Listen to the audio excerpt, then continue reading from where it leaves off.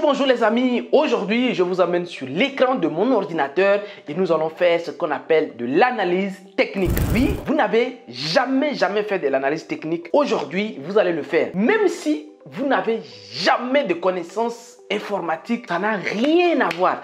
Vous le savez, quand c'est Justin qui l'explique, ça devient simple.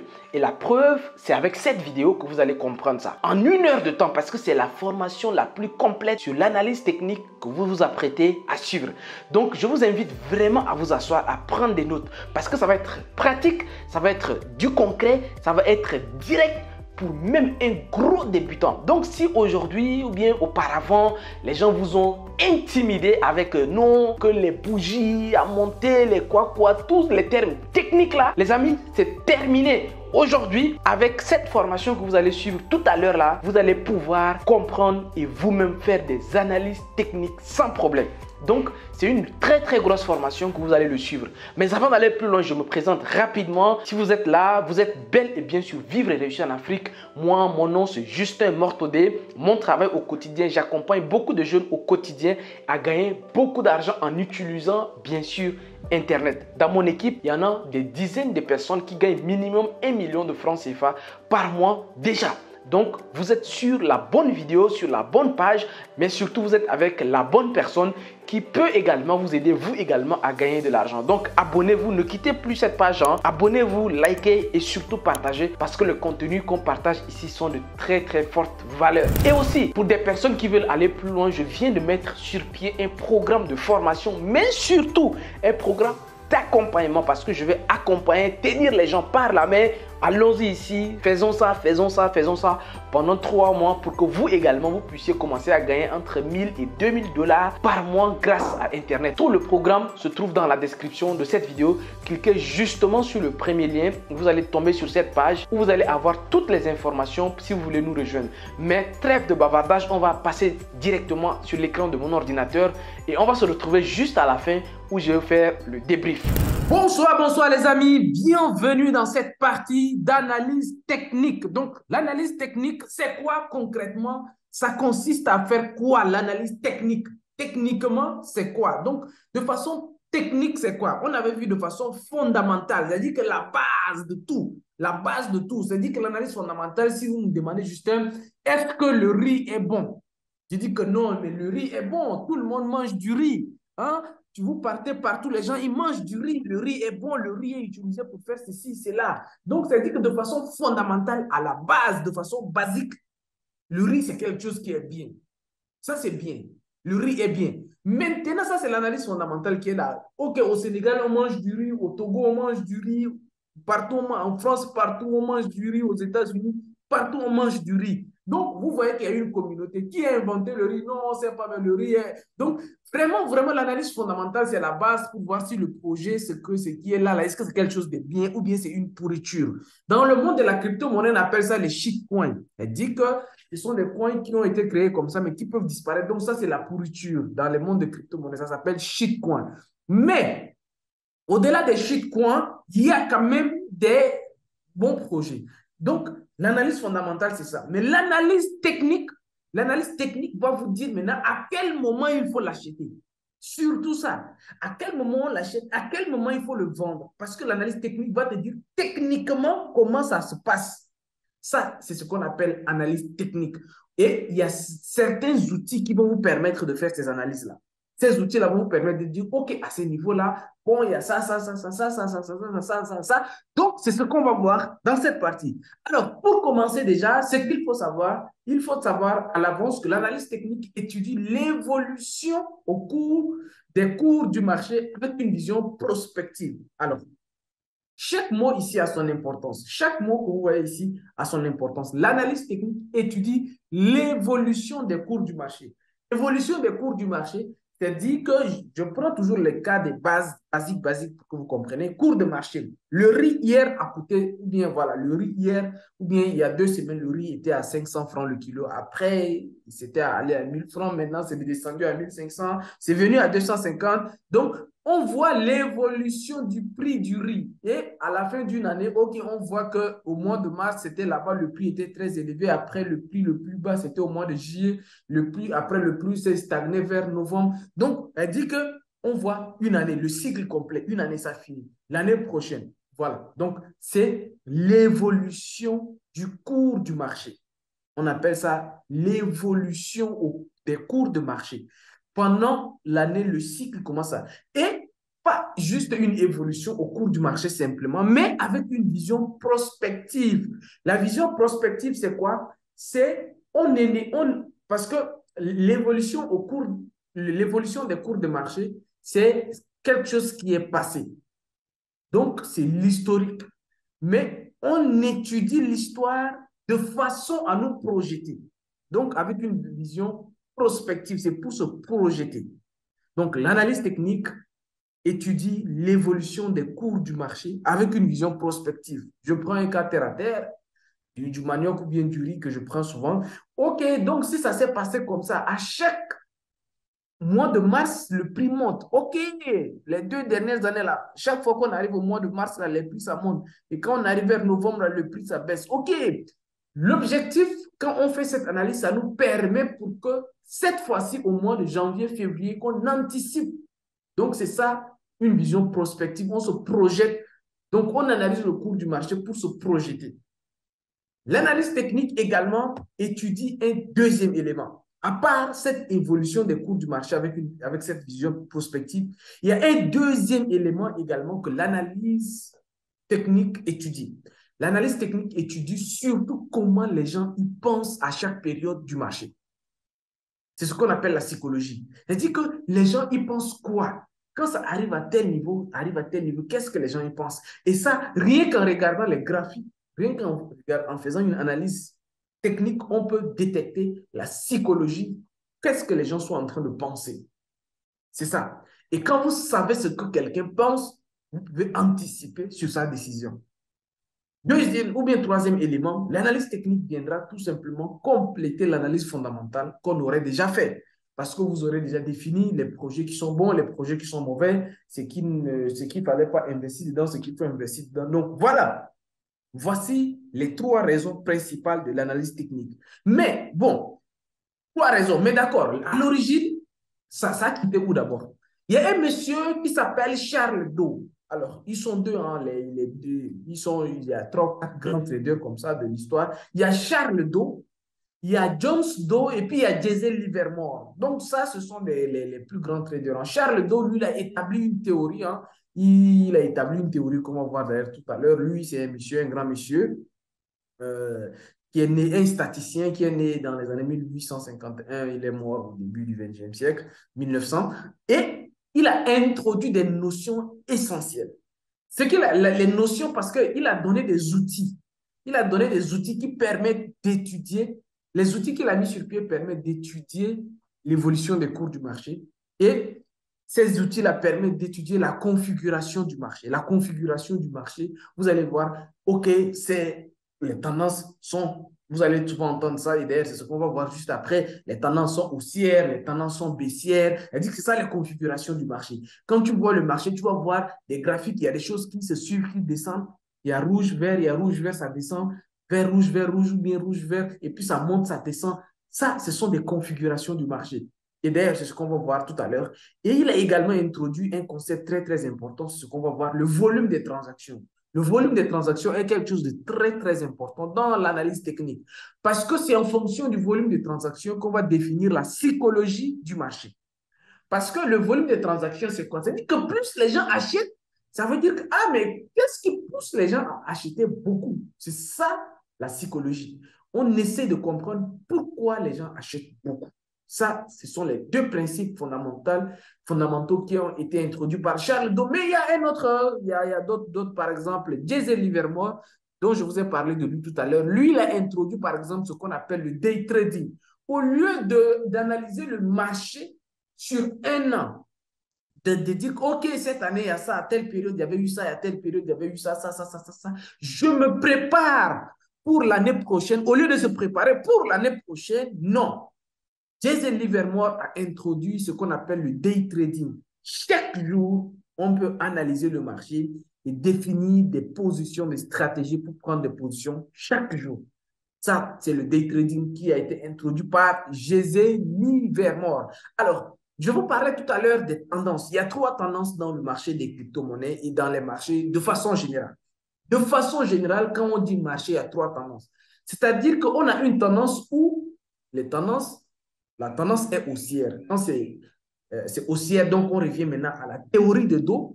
Dans la théorie de dos, donc Charles Do, il disait, lorsque vous voyez les creux, ou bien on commence par lui, il a commencé par les sommets. Donc, lorsque vous voyez les sommets d'une tendance, sont de plus en plus hauts et que les creux également sont de plus en haut, de plus en plus haut, nous sommes dans une tendance haussière.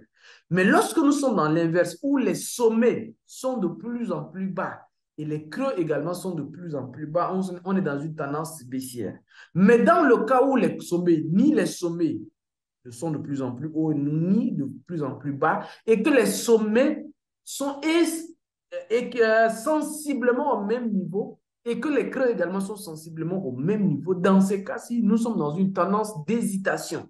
Et cette tendance-là, dans le terme des crypto-monnaies, c'est une tendance de consolidation ou bien de range. C'est-à-dire qu'à cette période-là, les gens qui détiennent les actifs ne veulent pas vendre et ceux qui veulent acheter également hésitent d'acheter.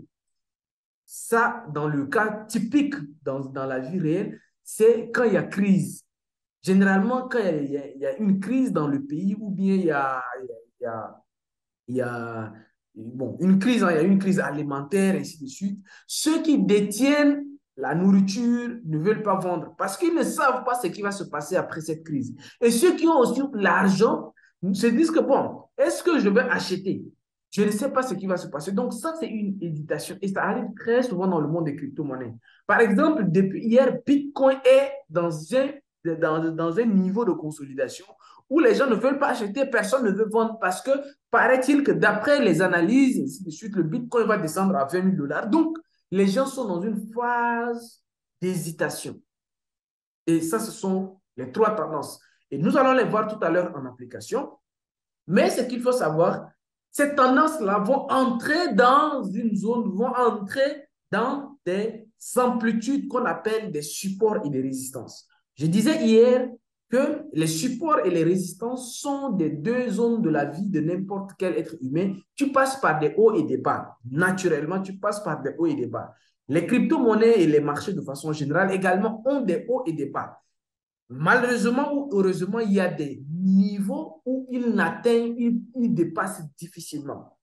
Dans la vie, même dans votre vie, moi, je l'ai appris quand je me suis, je me suis lancé dans les affaires. Quelqu'un m'a dit que Justin, est-ce que tu ça, je vous parle du de, début quand j'ai commencé en business. Quelqu'un me dit est-ce que tu gagnes déjà un million par mois à l'époque?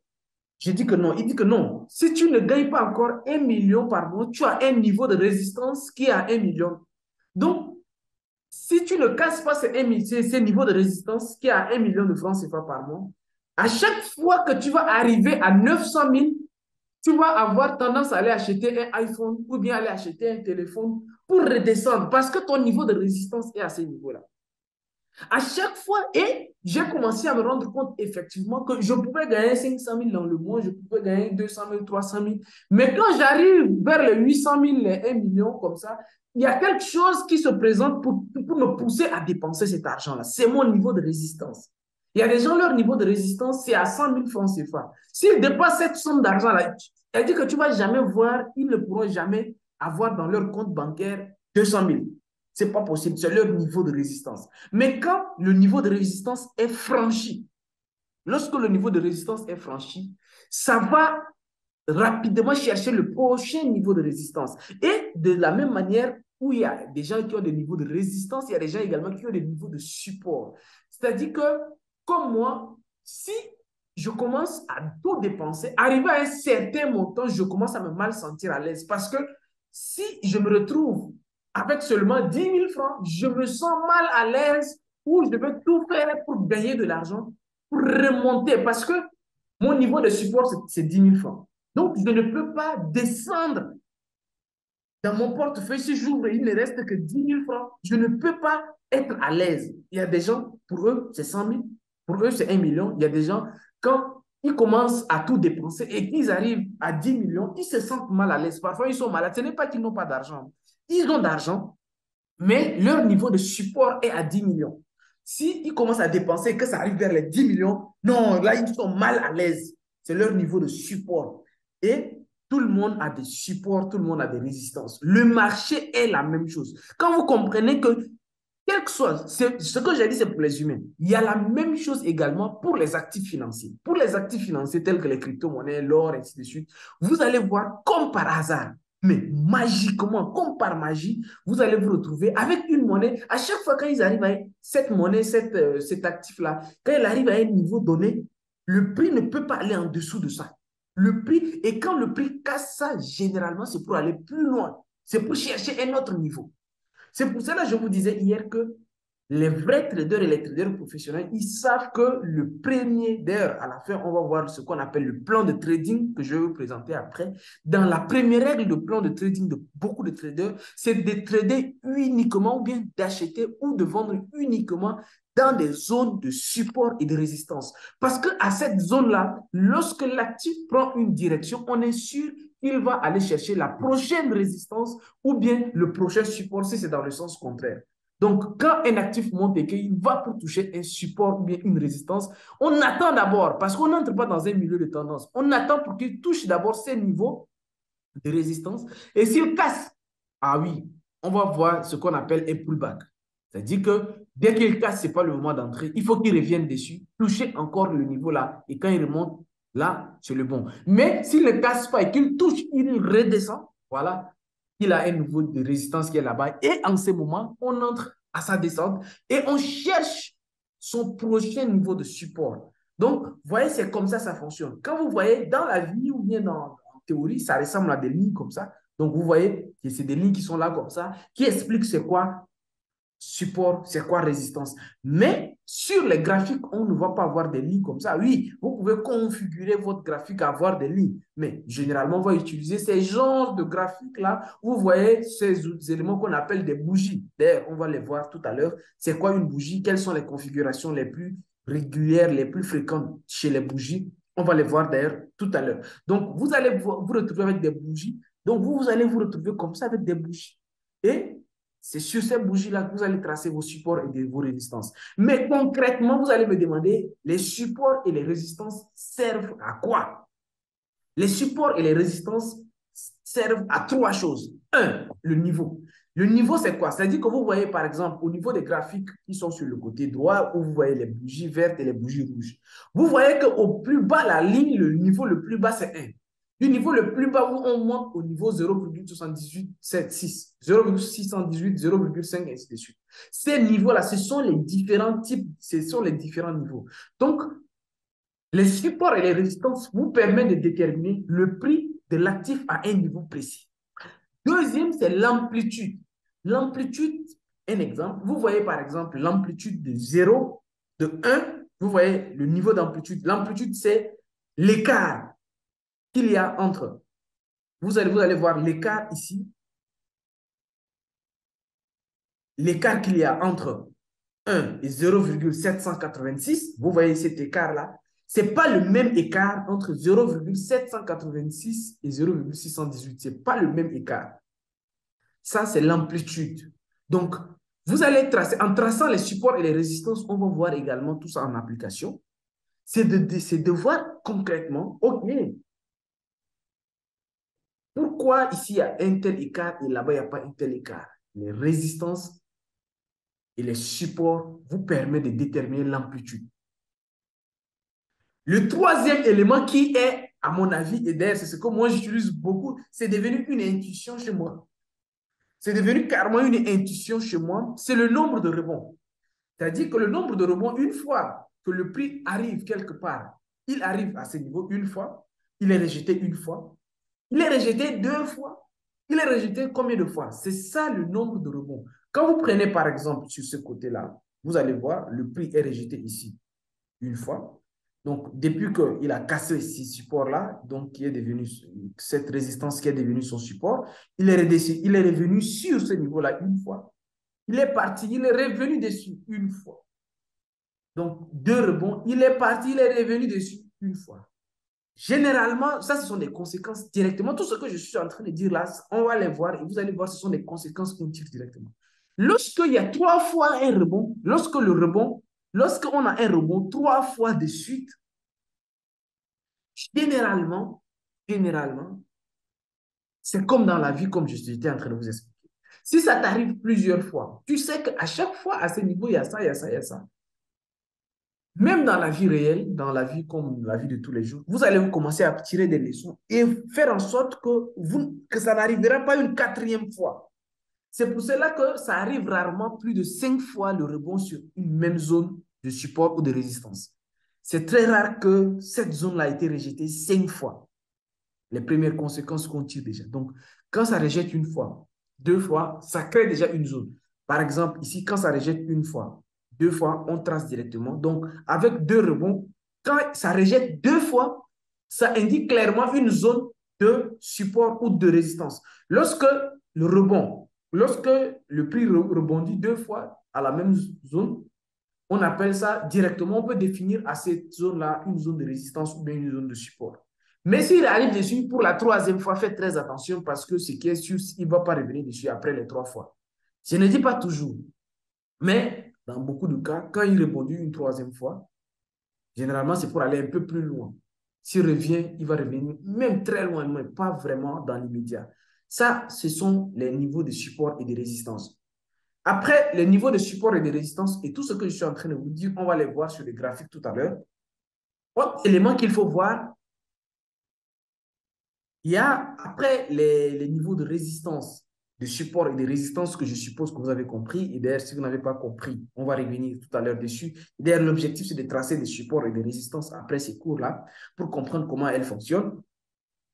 Les autres éléments qu'il faut comprendre, c'est ce qu'on appelle les figures chartistes.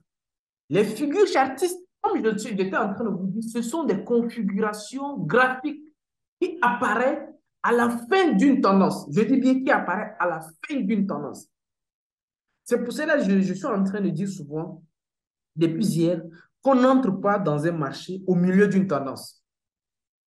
On n'entre pas au milieu d'une tendance. Vous allez voir que même pour prendre position, à part des supports et les résistances qu'on va tracer, vous allez voir qu'il faut ajouter encore des figures chartistes. Et comme les figures chartistes apparaissent à la fin d'une tendance, on va voir qu'arriver à tel niveau de résistance ou bien tel niveau de support exactement, quelle est la configuration qui vient de passer. Donc, quand on arrive à un niveau, lorsque vous tracez vos niveaux de support et de résistance et que le prix arrive à un niveau de support ou de résistance, on va directement dire que, OK, on revoit en arrière quelle est la configuration qui vient d'être créée. Et en fonction de cette configuration, on peut maintenant anticiper le marché. Et d'ailleurs, c'est ça même l'objectif des figures chartistes. Donc, il y a une configuration, par exemple, il y a un double top qui vient de se former et à l'instant T, le deuxième pied, donc un double top, c'est comme un M. Donc, ça s'écrit en M. Donc, on se rend compte que le deuxième pied de M, c'est un niveau de résistance. Ah, donc là, vous voyez, il y a deux confirmations. Il y a d'abord une figure chartiste qui qui, confirme une première configuration, une première confirmation. Deuxième confirmation, c'est un niveau de support qui vient d'être rejeté ou bien un niveau de résistance qui vient d'être rejeté, quelque chose comme ça. Donc, ça fait deux confirmations. Et d'ailleurs, dans le plan de trading, on va dire souvent qu'il faut au minimum trois confirmations.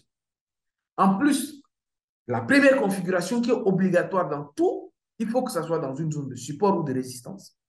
Mais les autres configurations, maintenant, on va voir, est-ce que c'est une figure chartiste? Est-ce que c'est le comportement des bougies? Est-ce que c'est un indicateur technique, ainsi de suite, ainsi de suite. Donc, on va voir. Donc, les figures chartistes, vous allez voir, et c'est ce qu'on va voir d'ailleurs tout à l'heure, anticipent le marché, puisque à la fin d'une tendance, une autre tendance va se créer. Donc, vous, maintenant, c'est comment anticiper le marché et de ce fait calculer en même temps l'objectif de gain.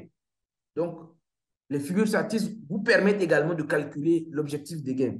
D'ailleurs, c'est ce qu'on voit tout à l'heure. Donc, vous voyez d'abord, en termes de figures chartistes, on a, il y a plusieurs figures chartistes en Yann, mais il y en a beaucoup, il y en a beaucoup.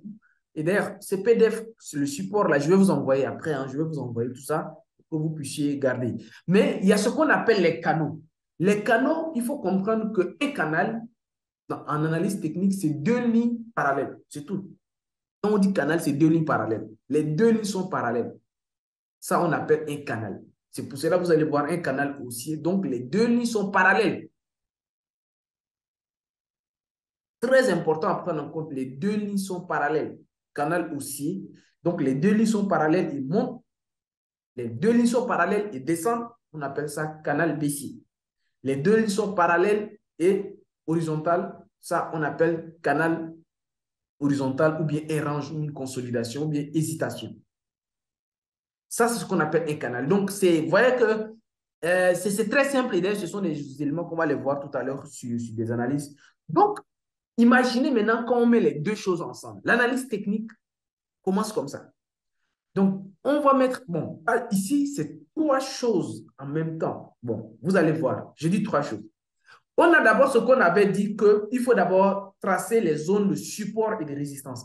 Dès que vous avez un graphique devant vous, la première chose à faire, c'est de tracer les supports et les résistances. D'abord, donc, la première étape d'une analyse technique, c'est de tracer les zones de support et de résistance.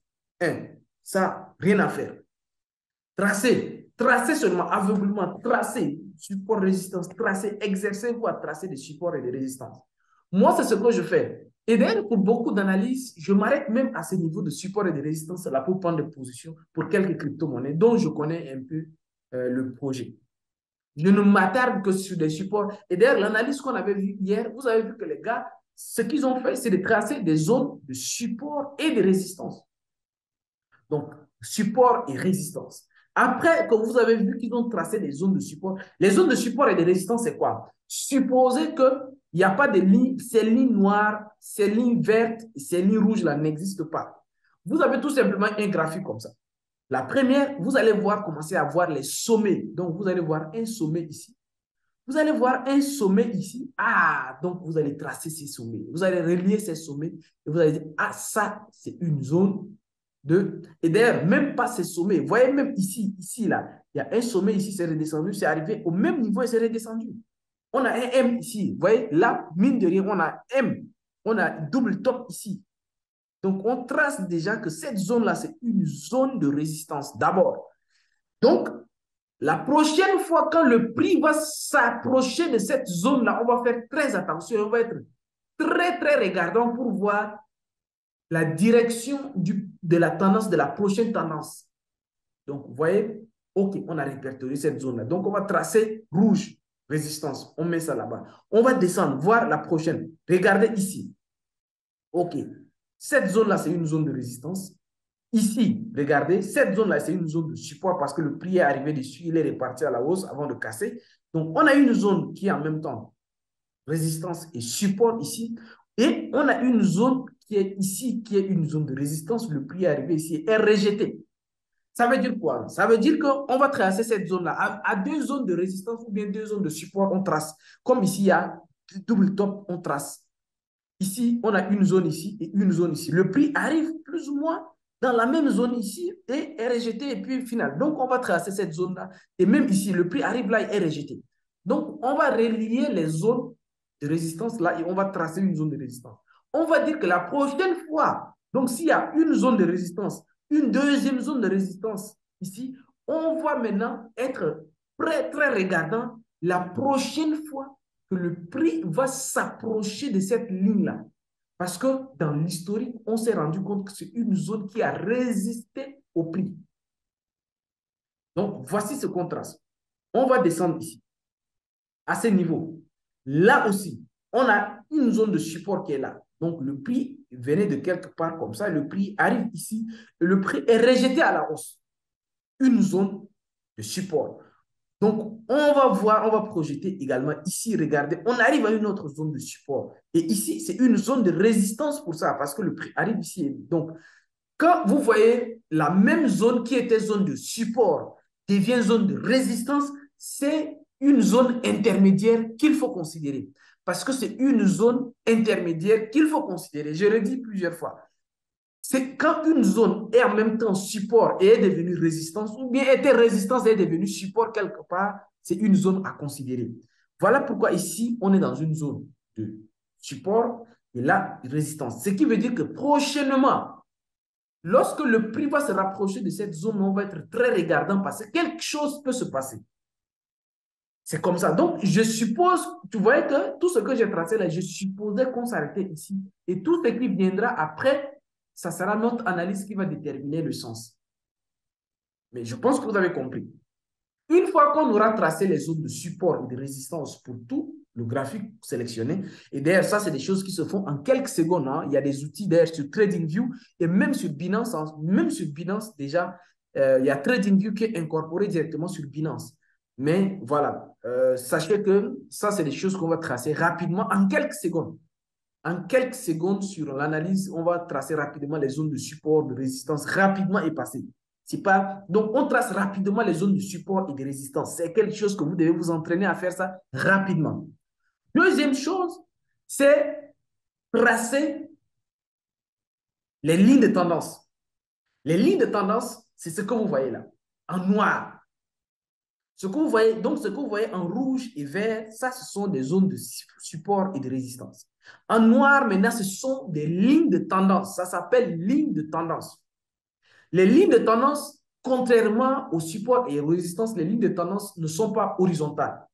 Les lignes de tendance donnent la tendance. Par exemple, dans ce cas-ci, ça détermine un canal. Donc, vous voyez que les deux lignes sont plus ou moins parallèles. Dans ce cas-ci, vous voyez que le prix arrive ici, est rejeté ici, puis ici, rejeté, voilà, on est dans un canal. Regardez, on est dans un canal. Dans ce cas-ci, on a ce qu'on appelle les lignes de tendance. Donc, très important à comprendre. Vous voyez que rien qu'avec les deux éléments qu'on vient de faire, vous tracez les supports et les résistances et vous déterminez les lignes de tendance. C'est la première chose, les deux premières étapes d'une analyse technique. L'analyse technique, c'est rien d'autre que ces deux éléments que je vous ai dit là. Les autres éléments qu'on va voir après, ce sont des éléments de détail. Les éléments essentiels, c'est ces deux éléments que vous venez de voir là. Tracer les zones de support et de résistance, les lignes de tendance. Quand vous déterminez ça, les lignes de tendance, quand vous déterminez, vous allez déterminer, par exemple, c'est quoi un canal? Vous voyez que ça, c'est un canal. Vous allez déterminer, en fonction juste de ces deux éléments-là, vous allez déterminer également, vous allez observer par exemple, en, en traçant ces niveaux-là, je me suis rendu compte qu'il y a un M ici, il y a un double top ici. Il y a un double top ici, juste en traçant cette zone-là. Il y a un double top qui s'est créé ici. Ici, par exemple, il y a un pullback là. Un pullback, c'est quoi? C'est lorsqu'il y a une cassure. Ce n'est pas que dès qu'il y a cassure, on entre. Non, ce n'est pas comme ça. Quand il y a cassure d'un prix, on n'entre pas directement. Il faut une confirmation. Et pour confirmer, le prix, imaginez, il y a une cassure, il est descendu. Il a cassé ça. Dit qu'il pouvait casser. Mais ça pourrait être une fausse cassure. S'il revenait dans la tendance, s'il casse ça et il revient dans la tendance, parce que ça arrive que le prix sort de la tendance, il y a une cassure, par exemple, regardez, il peut avoir cassure ici, et revenir dans la tendance, ça arrive. Des fausses cassures, ça arrive très souvent. Mais lorsque ça casse directement, on n'entre pas. On attend pour qu'il revienne retester le niveau de cassure précédent. Donc, cette même ligne qu'elle a cassée là, elle vient retester. Et quand elle commence à redescendre, on dit que, ouais, non, là, effectivement, la tendance a changé. Dans ces cas-ci, on a une nouvelle tendance qui va se dessiner. Parce qu'on était dans une tendance haussière, on était dans une tendance haussière, mais lorsqu'il y a un retest la tendance va automatiquement changer. Donc, voici les éléments très simples, les deux éléments très simples. Maintenant, comme je vous ai dit, niveau support, résistance et canaux, on va, on va ajouter maintenant quelques éléments pour que vous voyez que les outils de confirmation. Parce que ce que je vous ai dit, quand vous voyez ici, en traçant les supports et les résistances, vous allez déterminer facilement les figures de continuation. Si on n'est pas dans le cas d'un canal, regardez, quand on est ici, ça c'est un canal. Les deux droites sont parallèles. Dans ce cas, si on parle de canal, les deux droites sont parallèles. Mais ici, ça, on est dans un canal. Regardez, ça c'est un canal. Les deux droites sont parallèles.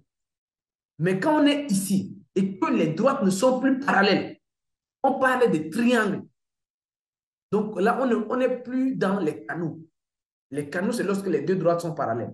Lorsque les deux droites ne sont pas parallèles, on est dans les triangles. Et il y a plusieurs types de triangles. Hein? Et il y a des triangles qui vont être symétriques. Il y a des triangles qui, qui vont être asymétriques. Tout ça, on va voir. Il y a des triangles qui sont descendants. Il y a des triangles qui sont ascendants. En fonction de chaque triangle, vous allez voir.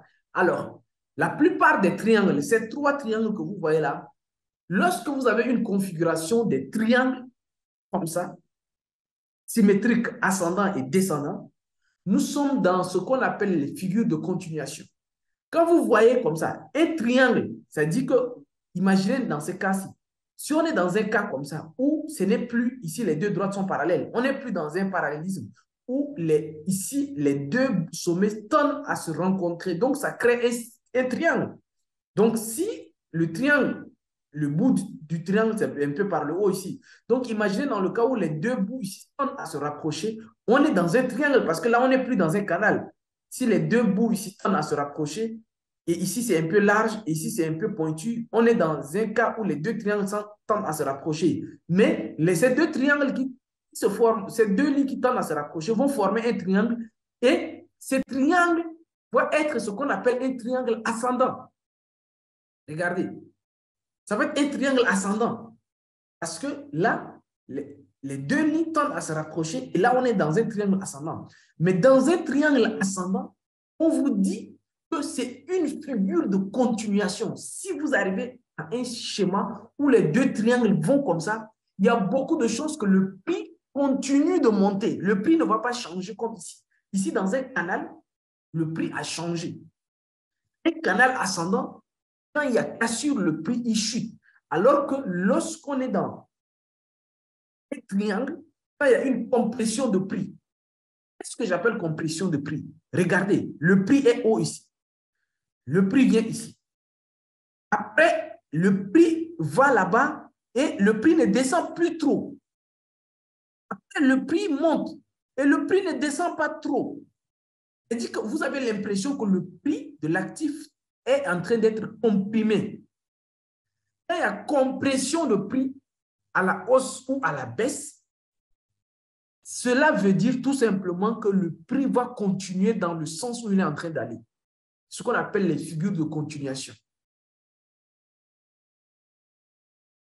Nous avons également d'autres figures qu'on appelle les figures de retournement. Les figures de retournement, c'est ce que vous avez vu tout à l'heure je vous ai présenté tout à l'heure, il y a deux types de retournements. Il y a les retournements baissiers et puis il y a un retournement haussier. Et tout ça, je le dis comme ça, mais on va voir ça dans la pratique. Lorsque vous avez un double bottom, un double bottom, ça dit que c'est dans le cas où nous sommes dans le cas où les deux creux, on arrive à simultanément deux creux en bas. Regardez, c'était un peu un schéma qui, qui ressemblait à ça. Il ici, il redescend et il arrive au même niveau et il redescend. Quand il touche un niveau, il redescend. Il arrive, il touche encore un niveau et il redescend deux fois. C'est double top, ce n'est pas une seule fois. Il touche une fois, il redescend. Il ne va pas très loin et il revient, il touche encore. Et au moins de redescendre, là, c'est pour changer de tendance, en fait. S'il touche, il redescend. C'est-à-dire que le prix arrive là. Ici, vous voyez que le prix arrive ici, il redescend, et quand il arrive, il casse. Mais s'il touchait ici et il redescendait, on allait entrer en, short directement parce que un double top allait se créer ici. Un double top allait se créer ici parce que le prix arrive et il descend. Ici, il arrive, il touche une zone de résistance, il descend. Monte, il touche une zone de résistance et il descend. Dans ce cas-ci, s'il redescend, au lieu de monter, c'est-à-dire qu'il touche, il redescend, il monte et il commence à redescendre et qu'on remarque la construction d'un double top ici. Il y a un double top ici. Dans ce cas-ci, c'est une figure, de retournement. C'est-à-dire qu'il y a un double top, il touche ici, il arrive à un moment donné ici, et il arrive là-bas, il redescend, on est dans un double top, donc retournement de tendance. Dans le cas contraire, regardez le même cas contraire. Donc, soit un double bottom, donc double queue, ou bien double top. Ce sont les deux figures de retournement des doubles. Maintenant, il y a un triple aussi. C'est-à-dire qu'il peut avoir un triple, mais le cas du triple n'est pas du tout comme le cas du double. Regardez quand vous voyez le cas du double, c'est-à-dire qu'arrivé au même moment, c'est-à-dire que c'est au même niveau, il, il. Donc, il arrive, il arrive ici, il rebondit un peu, il arrive ici au même niveau et il rebondit. Mais ici, regardez, ce n'est pas la même chose. C'est triple, on appelle encore euh, épaule, tête, épaule. Voilà, épaule, tête, épaule. Donc, regardez ici, il arrive quelque part, il touche un niveau, il remonte, il vient, il va un peu plus loin, ce n'est pas le même niveau, il va un peu plus loin et il revient. Il vient, il touche le. Maintenant, c'est ce niveau-là. Si le niveau qu'il vient pour toucher là équivaut au niveau qu'il a déjà touché ici, dans ces cas-ci, il ne va plus continuer. S'il vient toucher le même niveau, il commence à redescendre, c'est que c'est une nouvelle tendance qui va partir. C'est une nouvelle tendance. Il change parce que, regardez, il était en train de descendre. Parce que quand confirmation a dit que les figures de retournement, lorsque c'est baissier, regardez, il était en train de descendre. Donc, la tendance était baissière. Donc, c'était baissier. Il remonte un peu, il redescend, il remonte un peu et il redescend. Vous voyez qu'on était dans, une, quelque chose qui était baissière. Donc, si une configuration comme ça, il va aller dans l'autre sens, il change carrément de tendance. Ici, c'est le contraire. Il était en train de monter. Vous voyez, il était en train de monter, il touche quelque chose, il touche une résistance, il descend. Il tente encore de repartir et il touche le même niveau. Si c'est simultané, deux niveaux de résistance qu'il touche comme ça, et qu'il vient, il dépasse ces niveaux-là, le niveau du coup, on appelle ça le niveau du coup. Dès qu'il dépasse le niveau du coup, c'est qu'il va changer carrément de tendance parce qu'il ne va plus continuer à monter. Parce que ici, il était en train de monter, il a trouvé une résistance une fois, deux fois, il ne va plus continuer à monter, il va changer carrément de tendance. C'est ce qu'on appelle figure de retournement de tendance. Donc, il y a une figure de retournement de tendance. Il y a un côté qui est baissier et puis il y a un autre côté qui est haussier. Ça, ce sont les trois figures de tendance les plus couramment euh, retrouvées sur le marché. Le double bottom et épaule-tête-épaule. Le troisième, c'est une compression de prix, mais on appelle, les gens ils appellent ça soleil levant ou bien soleil couchant. Bon, c'est des gens qui appellent ça comme ça, mais vous allez comprendre, c'est très simple. Ça, c'est une compression de prix. Ça ressemble à celui-là. Regardez, ça ressemble à celui-là, sauf que lorsque Regardez ici, lorsqu'on est là, la compression de prix, lorsque le triangle est haussier, donc lorsque euh, le triangle est ascendant, la cassure se fait par le haut. Regardez, la cassure, il y a, un retest qui se fait par le haut. Elle dit que dans le sens, la cassure est effectuée dans le sens de l'ascendance ou bien la cassure se fait dans le sens de la descendance. Ici, c'est autre chose. On est en train de descendre, mais la cassure ne se fait pas par le bas. La cassure se fait par le haut. Et dans ces cas-ci, lorsque la cassure se fait dans le sens inverse du triangle ascendant ou bien descendant, on n'a pas besoin de retest. Lorsque la cassure se passe directement dans l'autre sens, il y a directement s'il y a retournement de tendance. Parce que, regardez, on était en train de descendre, le prix était en train de descendre, mais là, il casse subitement par le haut. Dans ces cas-là, on a également, la tendance ne va plus être baissière, mais on a un retournement de tendance parce qu'on était en train d'être dans une tendance baissière et il casse dans le sens opposé de la tendance.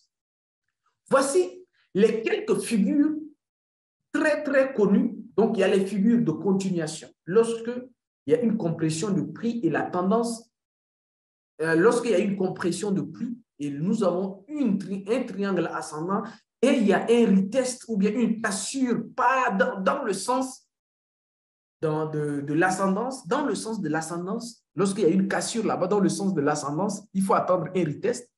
Mais dans l'autre cas, il n'y a pas de retest avec les deux autres, double top et également épaule, tête, épaule. C'est ce qui est appelé été ici. Voilà.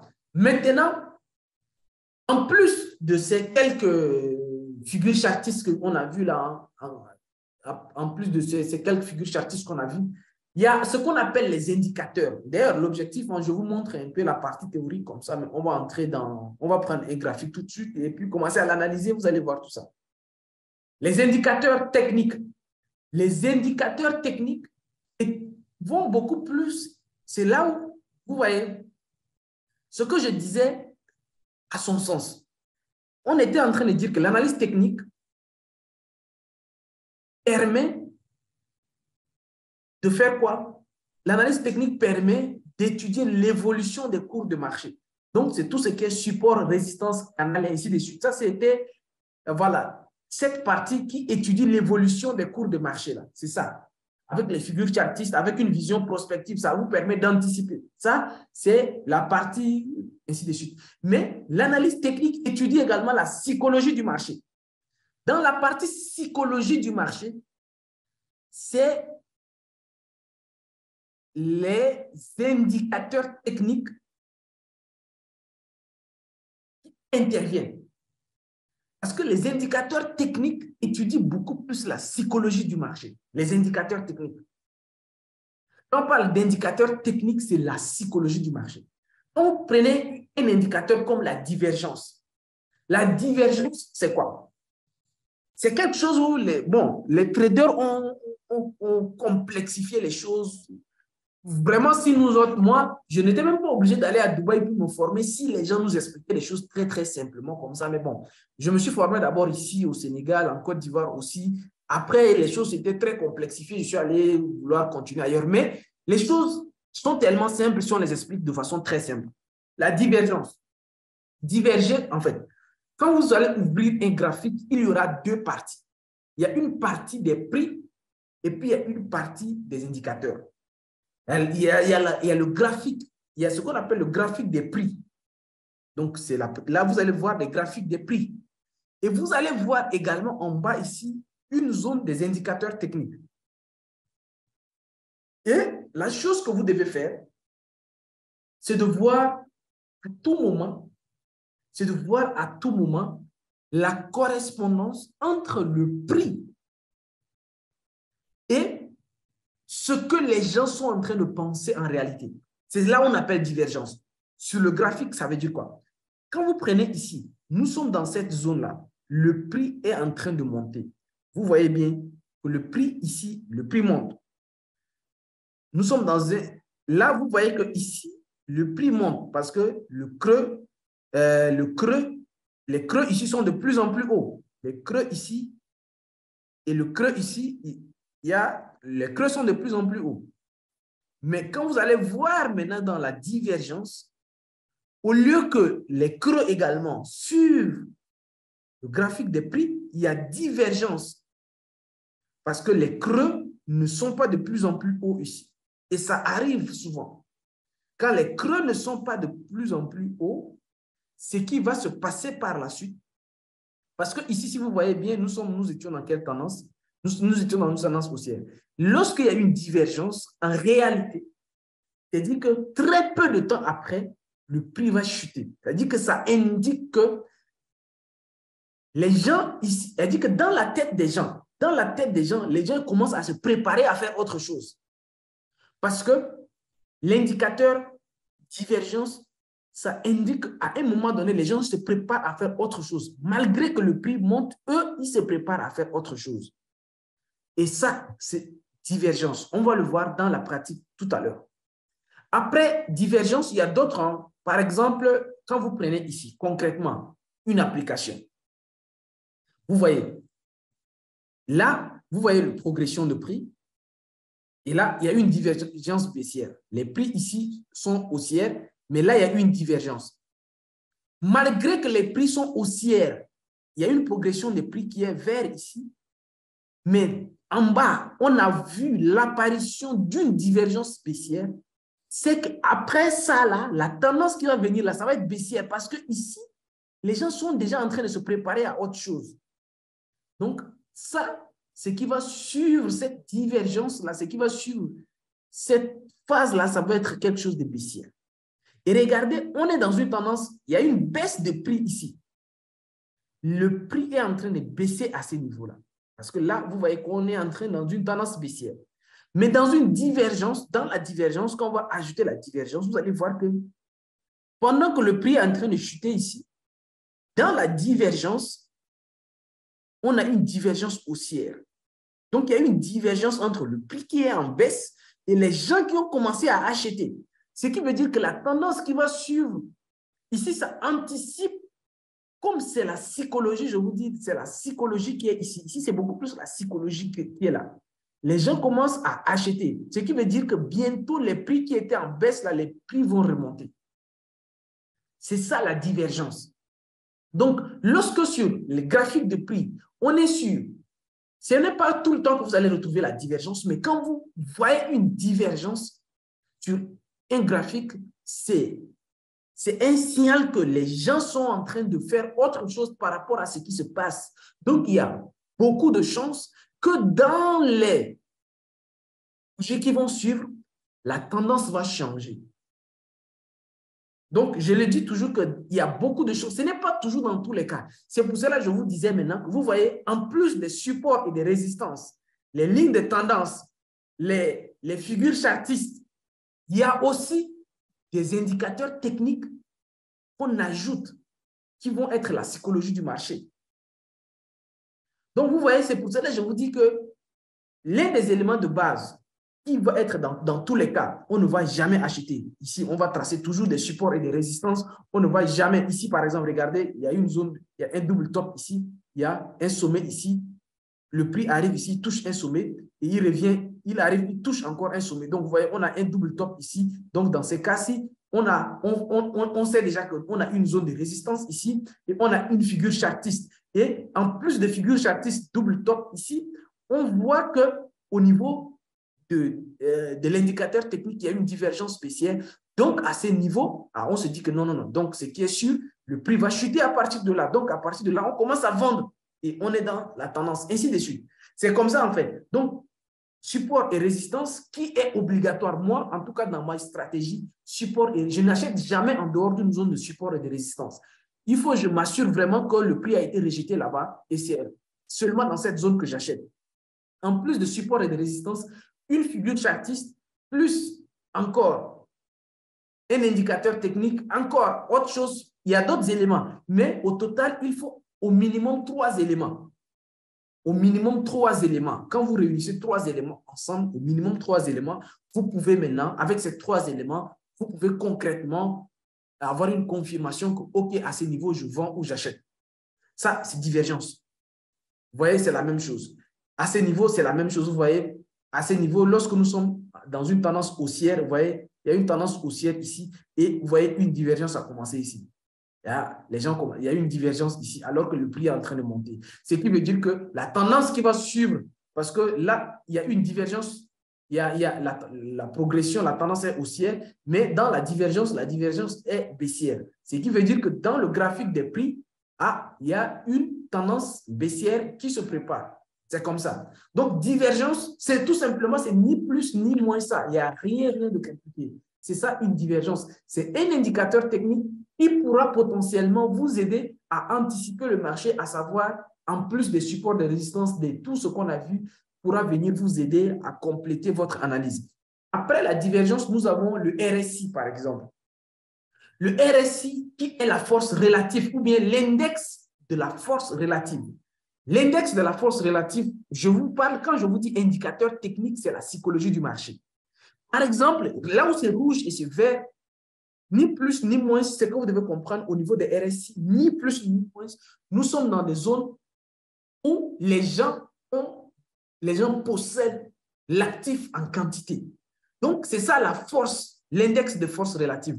C'est-à-dire que les gens en ont tellement. Un exemple, prenez dans la vie réelle. Vous partez dans un marché hebdomadaire. Le samedi, c'était hier, non? C'était hier. J'étais à Touba, plein centre de Dakar. J'étais à Touba, en plein centre du Sénégal plutôt. Parce que là, vraiment, on est à plus de 200 km de, Dakar. en plein centre, on est arrivé dans... Hier, samedi, là-bas, c'était marché hebdomadaire. Et c'était un village des bergers. Bon, juste, on a traversé un village des bergers là-bas où les gens étaient en train de, vendre des, des bœufs, des, des... Imaginez que dans ces marchés hebdomadaires-là, tout le monde achète les moutons. Dit qu'à l'approche de la Tabasco, les gens achètent moutons, les gens achètent. Tout le monde, elle dit que beaucoup, tout le monde a acheté. Qu'est-ce qui te passe dans la tête des gens?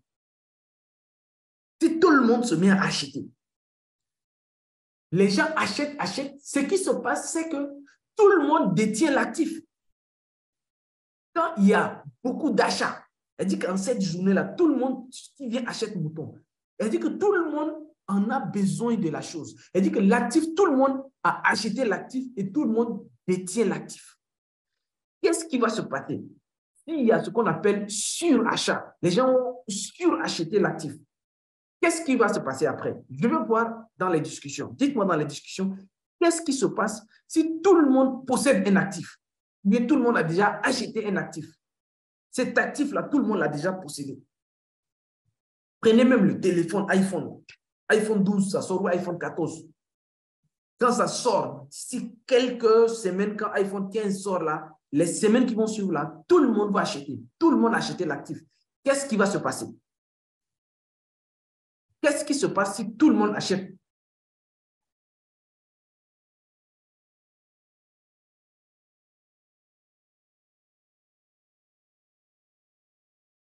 Exactement, c'est ça le RSI. Le prix va baisser. Parce que tout le monde possède l'actif. C'est exactement. Donc, les zones en rouge que vous voyez là, ce sont des zones de surachat. C'est un indicateur que vous allez l'ajouter dans le graphique et ça va tout simplement indiquer les zones de surachat ou bien les zones de survente. Surachat, c'est ici en haut. Lorsque le RSI dépasse les 70, lorsque le RSI dépasse les 70, c'est que nous sommes dans une zone de surachat. Et lorsque le RSI est en dessous de 30, nous sommes dans une zone de survente. Donc, lorsqu'on est dans une zone de surachat et lorsque vous voyez le RSI, vous voulez acheter. Vous dites, ah, la crypto, la valeur est en train de monter, ça monte, ça monte. Tout le monde en parle. Regardez, jetez un coup d'œil sur le RSI, voir. Si tout le monde achète, vous, ne devez plus acheter. Vous devez rester et écouter ou bien vous devez préparer la chute de ça.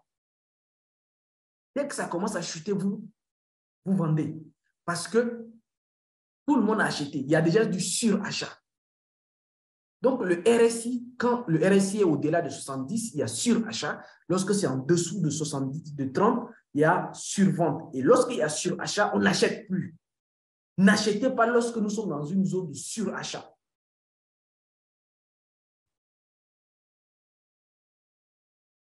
Voici un exemple. Voici un exemple du RSI. Vous allez voir que le RSI, on est là et vous avez un graphique qui est là. Et arrivé ici, regardez, 60 et 80, donc ça 70 ici. À 70, on arrive ici. Vous-même, vous voyez le graphique comme ça.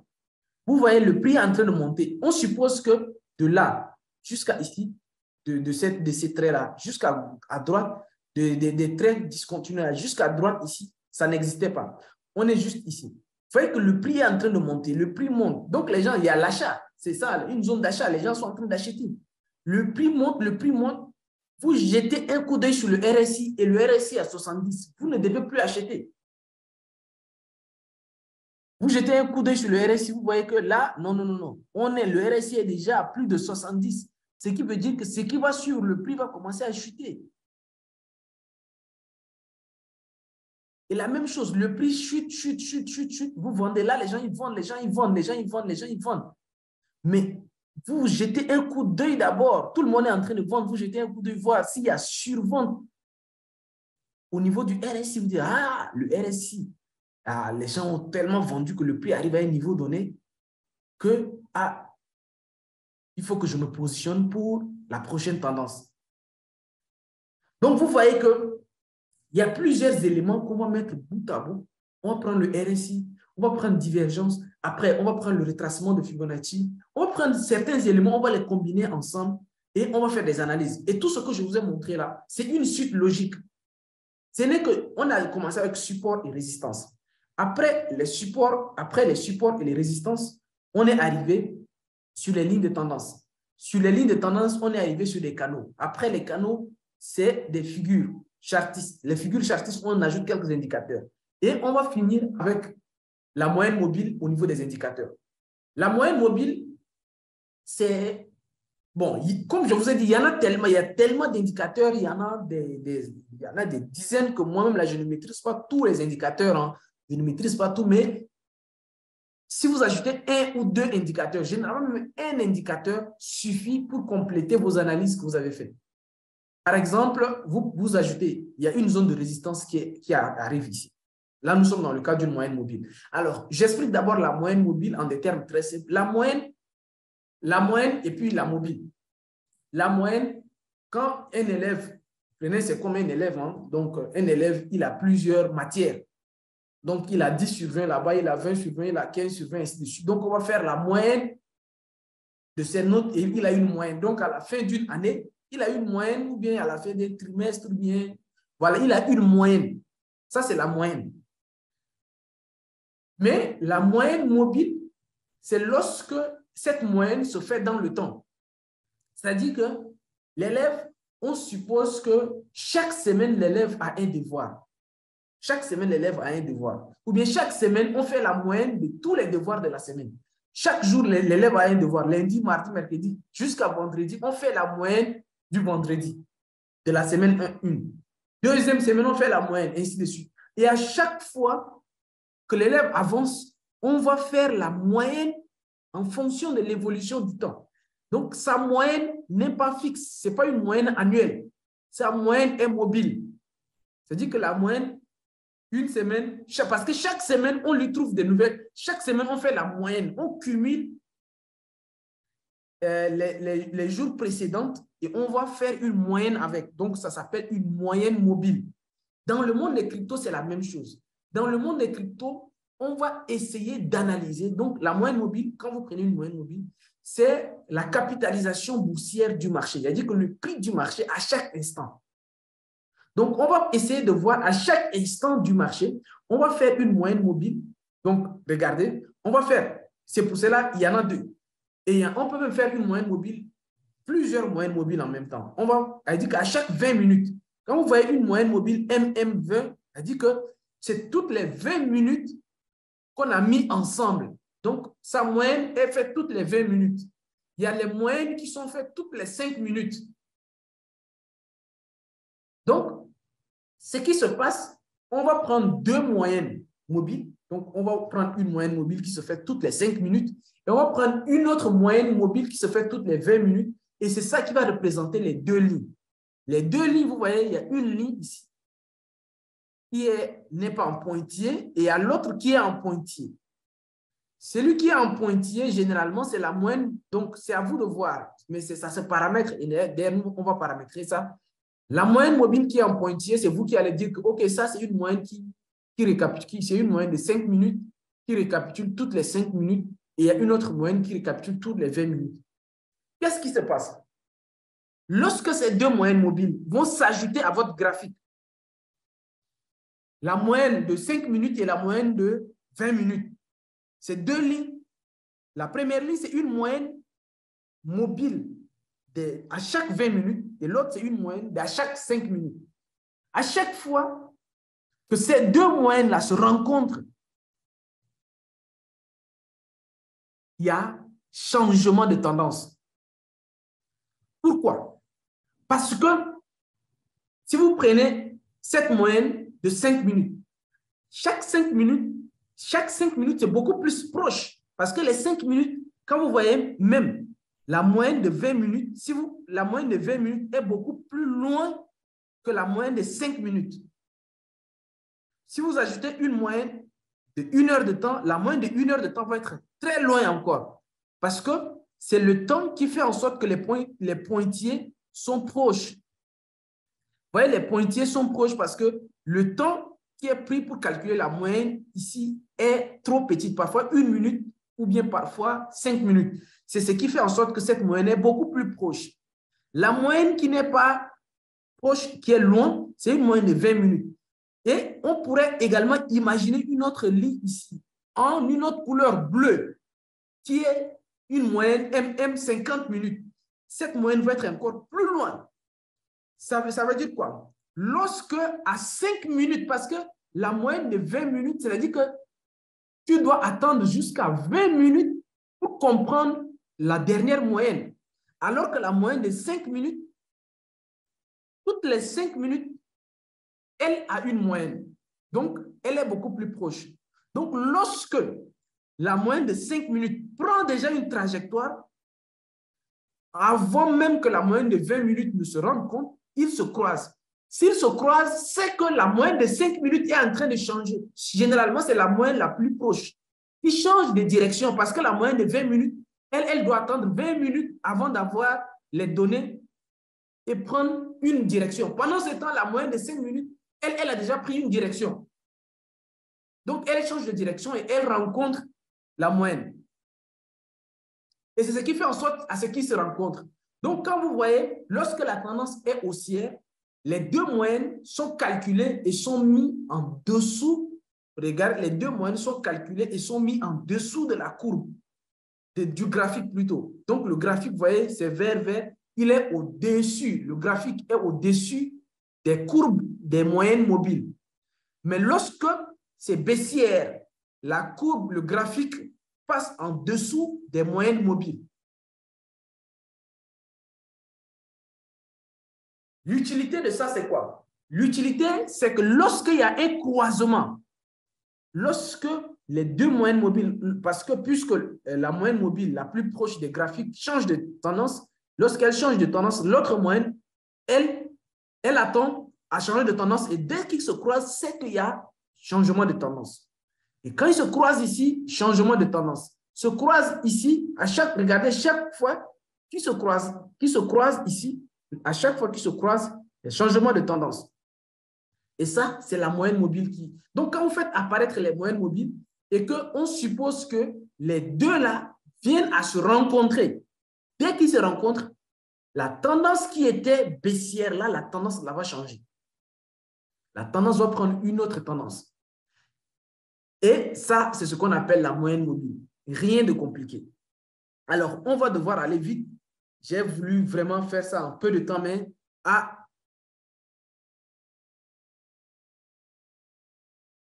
Alors, les paramètres, il y a des gens qui, si vous mettez une minute, vous mettez une minute, mettez à une minute. Mettez entre une minute et ça dépend. Il y a des gens qui traitent en H4, il y a ceux qui vont trader en H1, il y a des gens qui traitent même en, en daily. Ils prennent donc euh, ça dépend vraiment, mais en fonction, si vous voulez trader chaque jour, maintenant, mettez juste une minute. Mettez juste une minute. Comme ça, la moyenne mobile, c'est la moyenne de chaque minute. Ça vous permet à chaque minute, quand il y aura changement de tendance, vous détectez euh, la, la, prochaine tendance et vous entrez sur la tendance. Mais comme je le dis souvent, tous ces éléments-là, vous voyez que ce sont des éléments qui vont s'empiler. Et dans le plan de trading qu'on va voir à la fin, ce sont des éléments qui vont s'empiler et qui vont faire en sorte que, en réalité, pour prendre une décision de trading, d'achat ou bien de vente, vous allez analyser plusieurs paramètres. Vous allez support résistance, ligne de tendance, canal haussier, canal baissier, euh, figure chartiste, euh, moyenne mobile, RSI, est-ce qu'il y a surachat, survente, est-ce qu'il y a divergence? Vous voyez? Mais vous n'allez pas, il y a des gens qui empilent presque 10 pour effrayer, mais quand vous avez trois, vous avez trois outils, une résistance, support résistance, vous avez figure chartiste et puis un indicateur technique, ça suffit. C'est pour cela, trois confirmations, c'est bon. Vous n'avez pas besoin de, dix confirmations, même trois. Surtout, évitez juste une confirmation. D'ailleurs, c'est ce qu'on va voir euh, dans la pratique, éviter une seule confirmation. Il faut aller jusqu'à trois confirmations. Et le dernier élément qu'on va voir ici, si le temps nous permet, on va voir, c'est ce qu'on appelle les bougies japonaises. Alors, c'est quoi encore ces éléments-là, les bougies japonaises? Alors, les bougies japonaises ne sont ni plus ni moins des éléments assez simples. Hein. Donc, euh, ce sont des bougies, hein, des bougies normaux. Donc, c'est tout simplement des bougies qu'il faut les comprendre comme ça. Et je m'explique rapidement également. Donc, quand vous avez une bougie, la bougie, en fait, a trois parties. Il y a la mèche supérieure, la mèche inférieure et puis il y a le corps. Ça veut dire quoi? Ça veut dire que lorsque nous sommes dans une bougie verte, c'est-à-dire que euh, bougie d'une tendance haussière, bougie d'une tendance haussière. Quand la tendance est haussière, le prix commence par le bas et finit par le haut. C'est ça. Quand on a une tendance est haussière, le prix commence par le bas et finit par le haut. Et lorsque la tendance est baissière, le prix commence par le haut et puis finit par le bas. C'est ça la tendance baissière. Donc la bougie, les bougies japonaises vont tout simplement indiquer le début d'une tendance et la fin d'une tendance. Ce qu'il faut savoir, le prix peut commencer quelque part. Je prends le cas de la bougie verte. Par exemple, comme je vous ai dit, lorsqu'on est dans une tendance haussière, le prix commence un peu plus bas et finit plus haut. La mèche ici que vous voyez là, on appelle ça la mèche, donc la mèche inférieure, prenez comme ça. Et puis, il y a la mèche supérieure. Et ça, c'est le corps de la bougie. Il y a un prix d'ouverture et un prix de clôture. C'est la même chose. Alors, à le dire comme ça, ça paraît un peu théorique. On va aller concrètement sur quelque chose parce que une seule bougie comme ça, bon, dire une seule bougie, si ce n'est que la définition qu'on peut donner, mais il faut maintenant voir concrètement comment ça fonctionne. Les bougies sont des indicateurs. Les bougies vont vous permettre vraiment euh, de comprendre ce qui se passe sur le marché. Quand vous prenez une bougie rouge, comme là, là, vous voyez une bougie rouge qui a les mèches. Les bougies vertes n'ont pas de mèches. Mais le plus important avec les bougies, c'est le corps. Quand on est dans une configuration, bien le corps de la deuxième bougie est plus grosse ou avale le corps de la deuxième, de la bougie précédente, on appelle ça un avalement. Maintenant, ça de, de façon générale, lorsque vous mettez deux bougies côte à côte, vous, prenez deux bougies. Vous voyez deux bougies ici, par exemple, euh, vous prenez deux bougies quelque part. Vous voyez ces deux bougies-là. Si le corps d'une bougie donc, le corps de la deuxième bougie, ou bien les deux bougies qui sont là, vous voyez la petite bougie rouge qui est là, et puis l'autre bougie qui est verte qui est là. Si le corps de la deuxième bougie est plus gros que le corps de la première bougie, on appelle avalement. C'est tout simplement un avalement. L'une des bougies a avalé l'autre. C'est tout ce que ça veut dire. Donc, avalement, c'est lorsque le corps d'une bougie la deuxième bougie est plus grosse que le corps de la bougie précédente. On appelle ça un avalement. Maintenant, il y a deux types d'avalement. Il y a un avalement haussier, donc la bougie qui a avalé son frère là, ou bien sa soeur, la bougie qui vient d'avaler sa soeur, cette bougie est verte. Ça veut dire que cette bougie est dans une tendance haussière. Donc, on a un avalement haussier. Dans le cas contraire, on a un avalement baissier. Maintenant, on a une autre configuration où on a une apparition d'une bougie avec un petit corps. Quand vous voyez en fin des tendances, généralement, en fin des tendances, quand une tendance commence à finir, vous allez, vous, vous allez commencer à vous rendre compte. Alors, ce que je tiens quand même à dire rapidement, il y a des bougies, les trois premières bougies que vous voyez là, que ce soit avalement, dodi ou bien marteau, ces trois-là, ce sont des bougies de retournement de tendance. Quand ces trois bougies apparaissent, que ce soit euh, marteau, doji ou bien avalement, si ces trois bougies-là apparaissent dans une tendance, c'est qu'il y aura retournement. Maintenant, le doji, c'est quoi? Le doji, c'est lorsque on arrive en fin d'une tendance. Elle dit qu'on est dans une tendance qui était haussière. Les prix, ça monte, les prix, ça monte. Et vous commencez à voir, vous voyez apparaître un doji, des bougies avec des petits corps. Souvent, c'est ce que vous, vous voyez. Attendez, vous allez voir. À chaque fois que vous voyez que les tendances commencent, quand vous voyez les tendances commencent à changer, vous allez commencer à voir apparaître ici. Regardez, en fin de tendance, vous allez, vous allez commencer à avoir une ou plusieurs bougies de petits corps. Regardez, à chaque fois que les tendances commencent à finir, vous allez voir plusieurs, une ou plusieurs bougies avec des petits corps.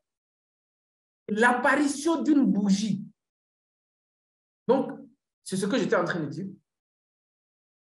L'apparition de ces trois-là, d'une bougie, de petits corps, ou bien des marteaux inversés. Marteau inversé, c'est quoi?